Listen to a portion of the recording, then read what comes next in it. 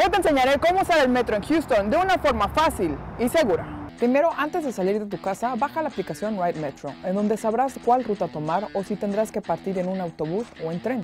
A la hora de comprar tus boletos, podrás hacerlo a través de nuestra app Ride Metro, en donde puedes pagar tus boletos, pases de un solo día y hasta pagar los estacionamientos Park and Ride que tenemos para nuestros usuarios foráneos aunque también tiene como opción de ir a comprar sus boletos o tarjeta Q en una de nuestras sucursales más cercanas, las cuales encontrará en nuestra página web www.ridemetro.org.